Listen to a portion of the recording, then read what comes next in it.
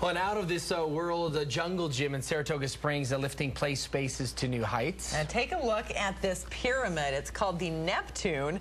It stands 30 feet high. There are only two others like it in the world, and the kids love it. Well, some parents are hesitant to see their youngsters scamper up that high, but the Neptune has the same safety rating as any other equipment in the park, and it's open to climbers of all ages. We have people who are coming out here in their 60s and their 70s climbing up on the, the Grand Pyramid with their kids, with their grandkids.